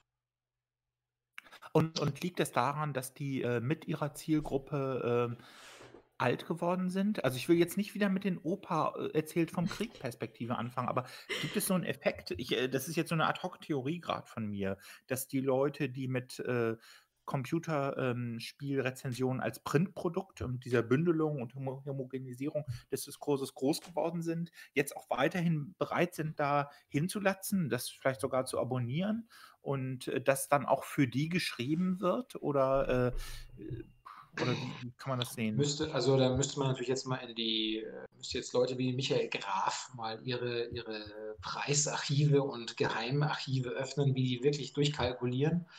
Aber ich denke, meine These wäre, mittelfristig wird Print ein Luxusprodukt. Äh, so, und wird entsprechend auch vermarktet und behandelt dann. Äh, also wie da die Monetarisierungsmodelle dieser Publikation aussehen. Mhm. Da, wenn ich die Lösung wüsste, dann würde ich es wirklich diesen Verlagen exklusiv verkaufen. Man sieht es ja, also die eben, wie viel verschwunden sind mittlerweile. Früher die Bravo Screen Fun, was die für eine gigantische Printauflage hatten. Weg vom Fenster, ja. Mhm. Computerbildspiele. Mhm. Ja. Also das sind ja alles, ähm, das ist, ist, ja nichts, was so in nächster Zukunft passiert. Das ist ja schon passiert, ja. Ja, ich meine, guck in Bibliotheken, wie viele sind bei uns. Also wir sind e-only. Zeitschriften auf Papier, was soll das nochmal sein? Habe ich jetzt nicht, habe ich nicht verstanden. Papierzeitschriften? so, hm. ja. Hm. Da steht ein Drucker da hinten. Sie es ausdrucken. Dann ja. haben wir es auf Papier, den Artikel. Genau, ja. Ja. Ja. Aber was Aber man wirklich sagen muss, das ist das wäre jetzt sozusagen, ist aktuell für mich das große, eigentlich mein Lieblingsthema tatsächlich. Ähm, man erkennt zunehmend, also es gibt ähm, eine Form von, von Coverage, die sich mit Spielen beschäftigt, die ich absolut spannend und super finde. Das sind viele Kanäle auf äh, Videoplattformen, Video-Essays über Spiele, mhm. ähm, wo sich eben ähm, kulturjournalistische Aspekte mit Game Studies Forschung so ein bisschen vermischen. Also es sind wirklich super Formate von sehr engagierten, sehr klugen Menschen, die dort über Spiele sprechen. Und jetzt kommt der große Haken. Ähm, der äh, Kollege Freiermuth von der TH Köln, der hat gerade in dem Handbuch äh, Games Kultur, glaube ich, heißt das, ein Einführungschapter über, über Game Studies geschrieben und kommt zu, dem, kommt zu dem Fazit, dass die Game Studies in, Deutsch, in deutschsprachigen Ländern oder in Deutschland circa ein Jahrzehnt hinterherhängen im Vergleich zu den Nordics oder zu vielleicht irgendwo sonst. Hm. Ja. Ob ich da unbedingt zustimmen würde, weiß ich nicht. Bei dem Thema Video-Essays zu spielen, ist es definitiv so. Es gibt dazu kaum deutschsprachigen Content, während es unheimlich viel bereits englischsprachigen super Content gibt, mit dem man problemlos Seminare bestreiten kann. Äh, das ist fantastisch. Mhm. Ja. Das war auch das, was ich am Anfang gemeint habe, mit dem ich fühle mich manchmal richtig schlecht, dass ich denen nicht dauernd irgendwie, müsste man dauernd den Geld geben, weil die liefern so super Input. Ja, das ist ja. das Thema Open Educational Resources quasi angeschnitten. Ne? Also Sachen, die man auch tatsächlich für die Lehre einfach oder ne, für, die, für die Forschung und Lehre einfach benutzen kann. Ähm, und wenn ja. ihr den, den nächsten Sammelband äh, zu eurem Lieblingsthema an den Start bringt, macht es mit einem Open Access Publisher, der bereit ist, sich zu integrieren mit einer Videoplattform, wo ihr dann als begleitendes Parallelmaterial Video-Essays. Oh, das wäre ja geil. Könnt. Ne? Ich meine, ähm, wenn, wenn, wenn es ein innovativer Publisher ist, der Bock hat, die, das digitale Medium voll auszukosten für euch und was möglich zu machen. Ne? Warum nicht? geile Idee. Also, Nur so eine Idee gerade. Ja. mhm. habt ihr denn, wenn ich nochmal harsch das Thema wechseln darf, du möchtest noch was sagen, Rudolf, dazu? Nein. Außer du möchtest mit Harsch, also du möchtest mit Harsch vielleicht auf meine fehlenden Haare ansprechen. Nee, nee, nee. Das habe hab ich heute noch gar nicht gesehen. Aber nein, ganz anderes Thema. Nämlich, äh, ich hatte mich schon mal damit beschäftigt, ähm, äh, mit Twitch speziell, weil ich meine, wir sind ja hier auf Twitch und ähm, hier werden ja ganz, ganz viele Games gestreamt. Ist denn auch diese Kultur des Gaming-Streamens und des, ähm, äh, wie die Kommunikation und Community-Bildung hier läuft, ähm, Teil von Game Studies? Ist das auch da ein Thema oder gehört das woanders hin? Würdest du das woanders einordnen? Ah, super Frage. Nee, ich denke, dass, also das ist eigentlich ist es ein, ist ein Kernthema letzten Endes, ja. Wie, ähm, wie Spiel, vielleicht auch f- für die Rezeptionsforschung dann, Mhm. äh, aber auch fürs Community Building natürlich, ähm, setzt natürlich auch voraus, dass jetzt äh, könnte man fast sagen, vielleicht auch eine Generation von äh, Game Studies Spieleforschern, ForscherInnen, vielleicht so weit in der Mediensozialisation schon fortgeschritten, dass die sich äh, schwer tun, das überhaupt noch als Gegenstand in den Blick zu nehmen. Und da schließe ich mich auch gar nicht aus, sondern schließe ich mich eher ein, Ausrufezeichen. Ich habe übrigens Ähm, hier ein, ein aber- Buch über, Buch über Twitch Oh, und ich habe tatsächlich auch eine Dissertation über Twitch gefunden und ich, ich fand das halt ganz, ganz interessant und deswegen war, hatte ich so die Frage, ob das da Teil davon ist. Weil ich bin jetzt ganz froh, dass du sagst, es ist Teil davon und auch ganz wichtig. Weil das ist halt, also ich finde, das ist so eine Metaebene, so wie du darüber gesprochen hast, ne, die Gildenbildung und wie das, äh, äh, wie, wie da das Zusammenspiel läuft, so ist es natürlich Meta, wenn man nicht vielleicht zusammen spielt über den Stream, sondern gemeinsam jemandem dabei zusieht, wie gespielt wird. Ne? Das ist ja nicht im Ja. Game, sondern darüber hinaus. also, Also, diese ich mein, Metaebene, also- haut das dann auch nicht nochmal rein in diese Diskussion, die du vorhin beschrieben hattest, Rudolf, mit dem äh, LudologInnen und den NarratologInnen, weil dann mit dieser Metaebene mache ich doch eigentlich was, dass ich äh, äh, inszeniere und damit auch erzähle, wie ich spiele. Also ich lasse sozusagen andere dabei zugucken, wie ich spiele und erzähle damit auch, wie ich spiele, oder? Kann man das so sagen? Das wird ja alles immer noch komplizierter. Ja, aber ich würde das gar nicht so sehr an dieser, an dieser, an dieser Unterscheidung festmachen. Also ich glaube schon, dass dieses Thema Celebrity Culture eine Rolle spielt, weil man ja sieht, äh, welchen, mit welchem Einfluss die größten äh, Talents, Influencer, Twitcher, Streamer, YouTuber, Let's Player und innen jeweils am Start sind. Äh, man sieht das immer ganz gut. Wir sind ja auch als, als ich glaube, das war jetzt dieses Jahr, ist es die, die Gamescom, die ja früher Games Convention in Leipzig war, jetzt sind sie halt in Köln seit, seit einem Jahrzehnt oder was. Ähm, Mhm. das, da bin ich jetzt seit 2003 oder 2004 jedes Jahr. Dieses Jahr war halt das erste, das nicht stattfand. Da war es halt on, online. Mhm. Ähm, und dort sieht man ja, wenn dort bekanntere Streaming-Gesichter aufschlagen, dann ist es halt Rockstar-Status. Mhm. Und das kann man jetzt belächeln oder auch nicht. Das ist zweitrangig, ja. Mhm. Für, für ob das Sportstars sind oder Streamer-Stars oder streamende Sportstars, die FIFA spielen oder F1-Rennen spielen. Ja, ja. Berührungspunkte sind ja manif man- manifest, ja. Also wer es da nicht begriffen hat, mit welchem Kaliber an Medienmacht man es zu tun hat und mit welcher, mit welcher Reichweite da auch operiert wird und mit welchen potenten Werbepartner und Partnerinnen man seitens der Industrie damit auch zu tun hat gleichzeitig, ja, der hat eigentlich zumindest im, also für, für ein Spielemarketing sowieso nichts zu suchen, der das nicht versteht ja. aber auch für die äh, Game Studies ähm, ist es ein Ja. bestimmten Forschungsfeld, ja. Ja, so ein bisschen angrenzend dann an äh, Influencer-Marketing, wie es wie es in anderen Bereichen ne, ja, zu finden ist. Spannend. Ja. Sehr, sehr spannend. Aber Wow. klar, ich meine, wenn da, wenn so ein, äh, ein Gronk streamt und dann irgendwie 25.000 Leute ihm dabei zusehen was das, wenn, wenn der da ein Spiel lobt oder kritisiert, für Auswirkungen haben kann, ist vorstellbar. Ja, man sieht auch, dass, da auch dass gerne noch einen anderen Assoziationshüpfer machen, wenn ihr erlaubt. Aber wenn ihr erst noch mal dabei bleiben wollt, dann ich. Was Rudolf sagt. noch, vielleicht noch einen Satz. Ja, Äh, gerne. man sieht ja auch, dass äh, die Spielebranche ist natürlich auch nicht gefeit vor, ihren, vor ihrer Politisierung. Großes Thema, äh, Gamergate oder MeToo. Das wollte ich oder, gerade fragen, ja. äh, ja. Genau. Und auch dazu kann man auch als äh, Influencer oder Influencerin, wenn man dazu traut, sich in die Stellung zu beziehen, dann merkt man ja sofort, äh, dass man da, manche kommen da auch in so einen Rechtfertigungsstrudel, von manchen wird auch erwartet, dass sie sich anders dazu äußern oder dass sie sich gar nicht dazu äußern.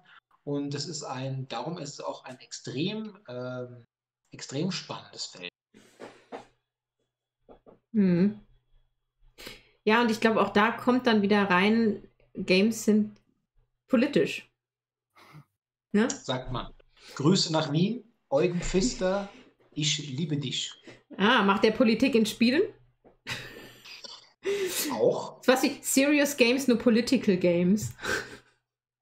Wir müssen unbedingt eine annotierte Version dieses Videostreams hier zugänglich machen, wo wir die ganzen Credits, die du gibst, ähm, Ach verdammt, da, da musst du uns aber so eine Liste schicken. Ja. Ja, okay. Ja, also das.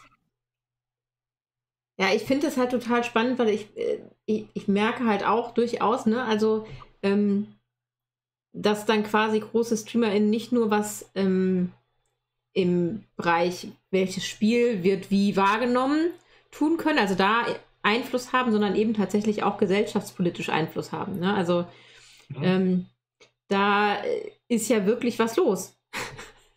Wenn die äh, Oh. sich da mal äußern und sagen, ne, was, Sexismus in Spielen gibt es nicht, so, dann tritt da eine Debatte los. Ja, und ich fand es bei Gamergate so interessant. Äh, ich hatte über deinen Twitter-Stream, Rudolf, äh, jetzt noch einen Essay entdeckt. Erst vor einer Stunde oder sowas, bevor das mit Ah. der Show losging.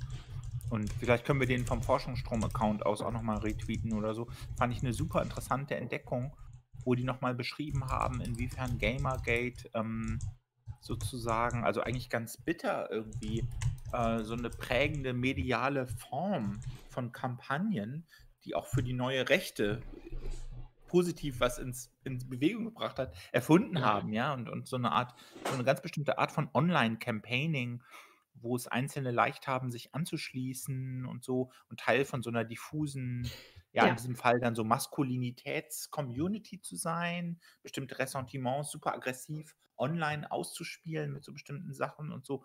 Fand ich sehr, eine sehr interessante Beobachtung und wahrscheinlich muss man es auch in dem Kontext sehen, nicht? Ja. Hm. Mhm. Das lief über wahrscheinlich äh, kein Pixel. Äh, Ja. Kein, ja. Ja. Kein kein Pixel. Pixel, irgendwas, ja. hm, Richtig. Ja, das ist eine, das ist eine sehr aktive und äh, sehr gute Gruppe, durchsetzt mit sehr vielen klugen äh, Köpfen.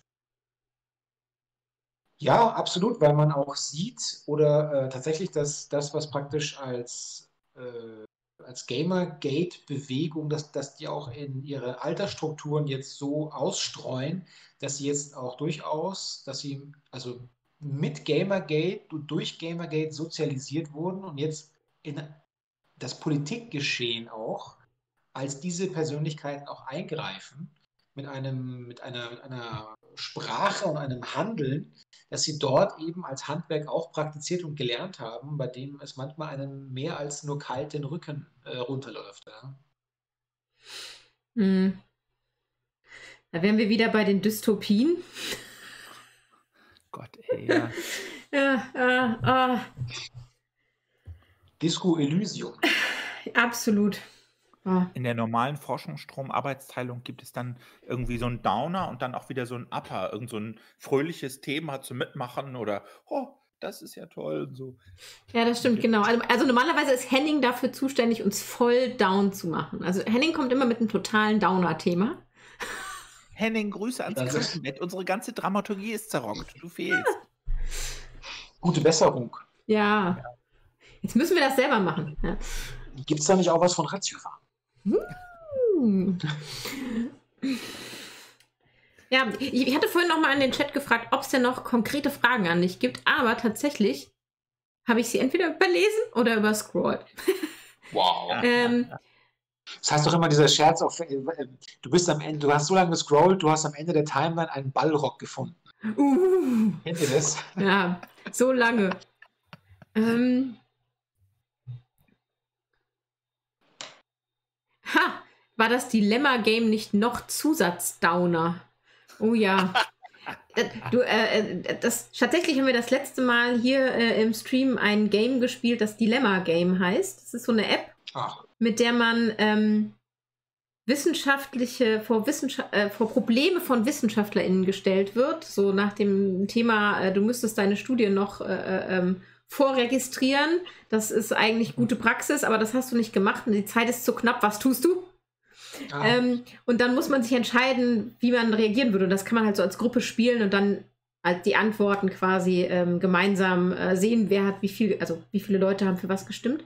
Und das war auch schon so ein bisschen ein Downer, aber es war auch ein interessantes Spiel. Also das ist Gamification von, äh, ähm, vom Problem. aber sehr, sehr, sehr bildend, fand ich. Ja.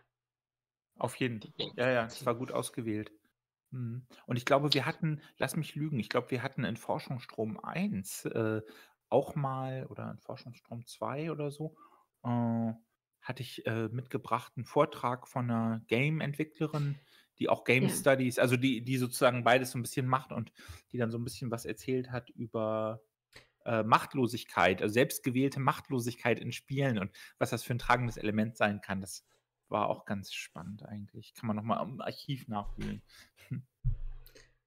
Ja, das ist genau, das ist übrigens genau passend zu diesem äh, Dystopie-Thema auch, wenn es um die, weil viele, äh, wenn man zum Beispiel diese Erwartungen, also im Sinne eines Expectation Managements, die Spielerwartung gegen den Strich bürstet, ja, diese, diese, dieses Umdrehen von einer Machtfantasie im Sinne einer äh, intentionalen Machtlosigkeit für den Spieler, dann ist es ja ein, zu- es ist ein zutiefst dystopisches Moment für SpielerInnen.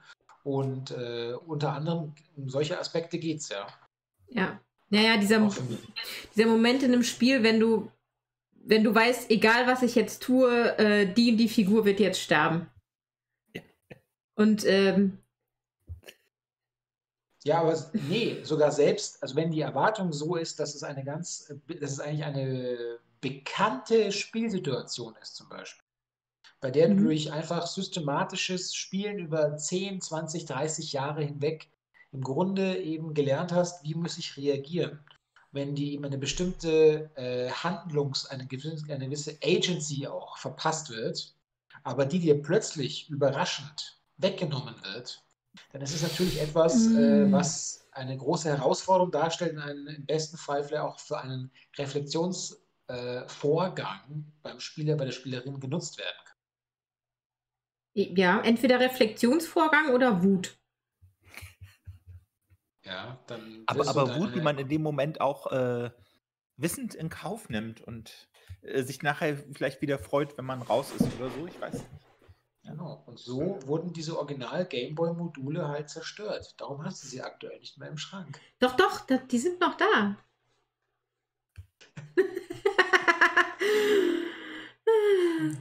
Und bei, der, bei dem neuen Controller von der PS5, wo es dieses haptische Feedback gibt, gibt es ein Feature, das äh, war so eine Meldung neulich, hatte ich dann auch über den Forschungsstrom-Account nochmal geretweetet, äh, wo ähm, das Gewehr, was man hat, im First-Person-Shooter eine Ladehemmung haben kann.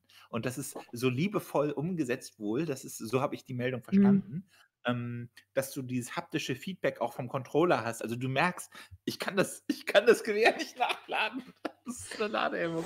Das ist schön, oder? Ich meine, apropos Wer, wer Ohnmacht. kennt es nicht? Peinliche Ladehemmung. Ja.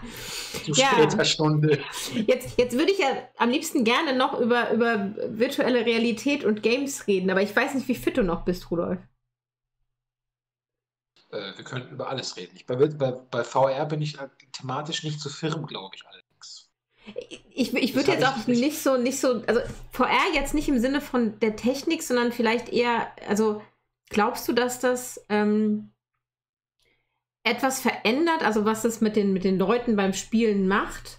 wenn sie eine VR-Brille tragen, anstatt äh, mit Tastatur und Maus zu, zu, spielen oder Gamepad. Also wenn man mit einer VR-Brille spielt, glaubst du, dass das Veränderungen bringt für die Spiele, die kommen oder für das Erlebnis der, der Leute?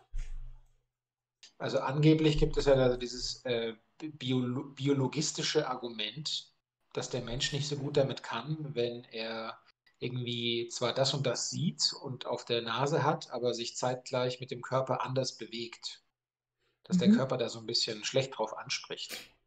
Ja. Äh, wenn das vielleicht auch systematisch abtrainiert werden kann und man deshalb auch mal andere Genres noch als jetzt in Angriff nehmen kann, ja, ich denke schon. Also der, es steht für mich außer Frage, dass der Körper sich sofort, dass das Hirn sofort sich täuschen und reinlegen lässt, steht für mich außer Frage. Das habe ich selber oft genug erlebt, wenn Leute über ein Brett am Boden balancieren sollen in der Turnhalle und sie sehen halt einfach nur einen, ein großes Gerüst, auf dem sie angeblich balancieren und die Leute dann sich hin an ihr Brett am Boden klammern, weil sie glauben, mhm. sie könnten runterfallen. Ja? ja? Und das ist jetzt nicht so, weil die sich äh, so, un, so ungelenk anstellen, sondern das passiert einfach dauernd mit allen Leuten. Also, äh, das ist aber noch vielleicht ein Stadium, wo es man eher so überlegt, äh, das sind so, weiß ich nicht, so eine Art von Zirkusattraktion oder Gimmicktum. Wenn man aber vielleicht überlegt eher, was könnte diese Art, sich mit Spiel auseinanderzusetzen, äh, an tieferen, was Affekten, Emotionen äh, auslösen, das fände ich jetzt eigentlich die spann für mich die interessantere oder spannendere Forschungsfrage, ja. Mhm. Ja.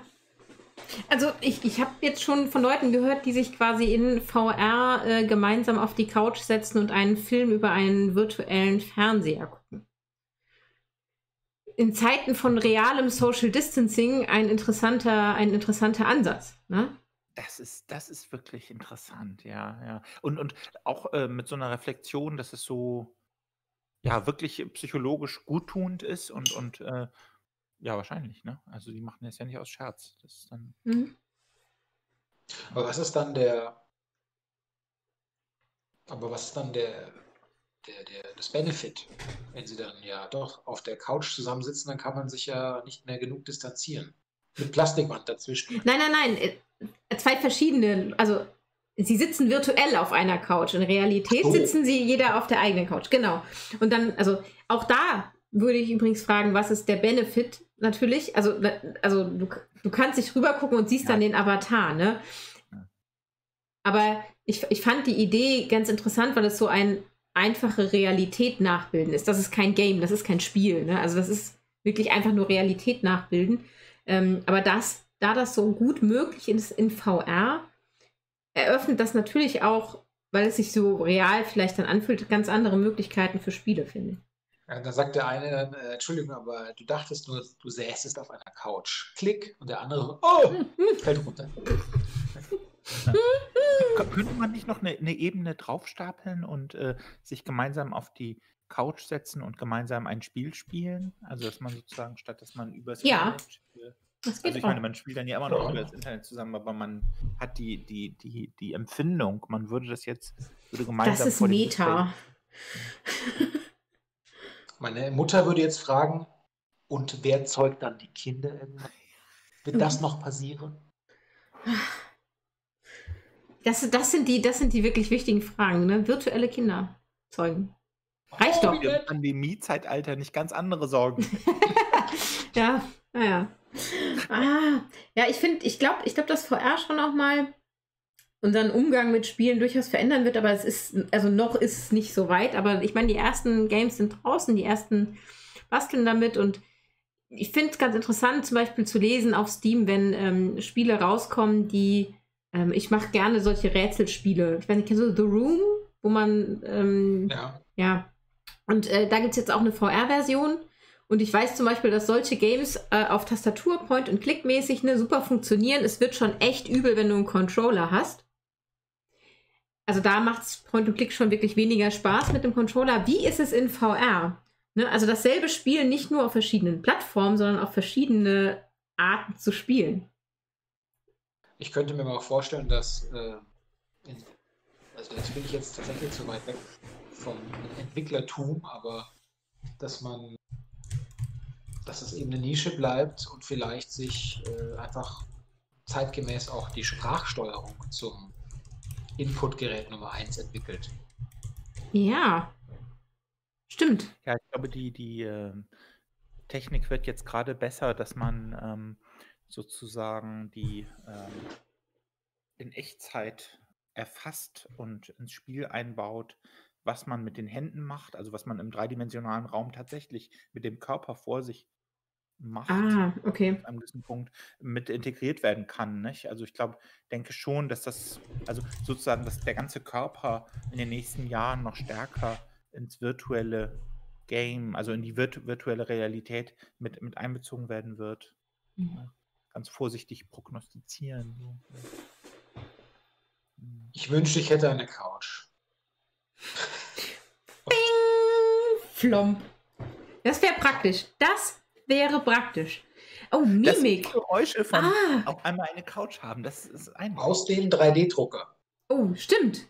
Frank Nord sagt gerade Mimik. VR und Mimik.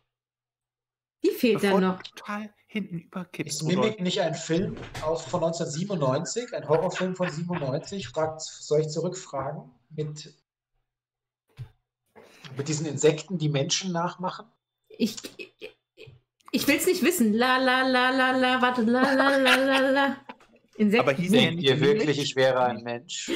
Ah, ein Reptiloid. Bevor du total hinten überkippst, Rudolf, und ganz einschläfst, hätte ich noch eine Frage, ähm, Wow. die mir unter den Nägeln brennt. Und zwar, Jetzt. was wäre sozusagen im Games-Diskurs die Intervention oder die Disruption, die jetzt fällig wäre, um nochmal was Neues reinzubringen? Also gibt es so mh, eine bestimmte Sache, mh, die passieren müsste, um das Ganze nochmal richtig total aufzuwirbeln? Also? Oder Ich glaube tatsächlich- Frage? Nee, ich glaube tatsächlich, was eine, ich habe das heute schon mal kurz angesprochen, aber ich glaube, das wäre wirklich die Disruptio schlechthin, wenn wir der Vorreiter sein könnten für äh, das Etablieren von Papern, die keine Paper mehr sind.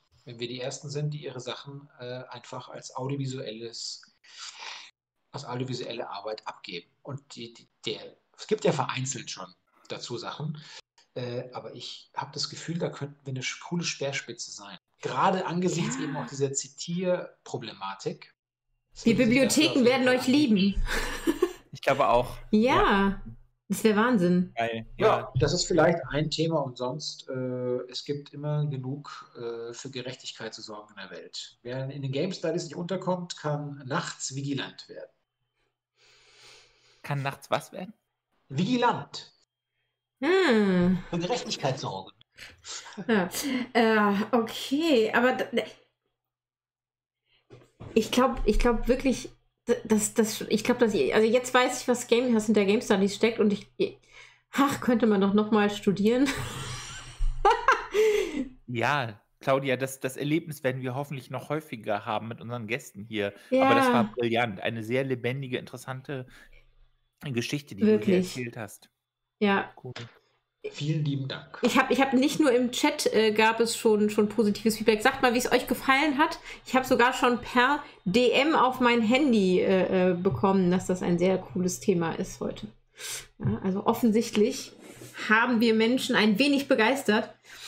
Ähm, und mich auch. Also Wir ich, können ja in einem Jahr, in einem Jahr machen wir, machen wir Fazitveranstaltungen, dann schauen wir mal, was passiert ist.